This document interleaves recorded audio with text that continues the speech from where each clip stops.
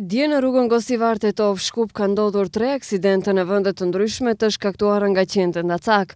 Aksidenti i parë është regjistruar në orën 14:30 minuta në afërsi të kthesës për në fshatin Kamjan, kur veturë e tipit Mercedes me targa të Kumanovës e drejtuar nga 32 vjeçari NK nga Nikushtaku, ka goditur një qen endacak.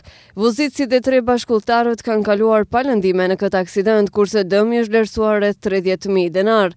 Pak kohë më vonë, rreth orës tetëmbëdhjetë para urës së fshatit Debërc, veturë e tipit Volkswagen me targa të Tetovës që e ka drejtuar pesëdhjetë e shtatë vjeçari TE po ashtu ka goditur një qen endacak, ndërsa vozitësi dhe bashkudhëtarja nuk kanë marrë lëndime, kurse dëmi është vlerësuar rreth gjashtë mijë denarë.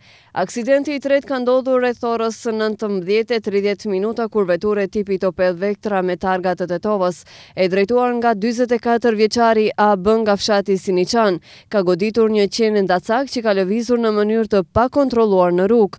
Aksidenti ka ndodhur në dalje të Tetovës në drejtim të Shkupit. Dëmi është vlerësuar rreth gjashtëdhjetë mijë denarë. Janë kryer hetime për tre aksidente, ndërsa sipas policisë shkak ka qenë mossigurimi i rrugës.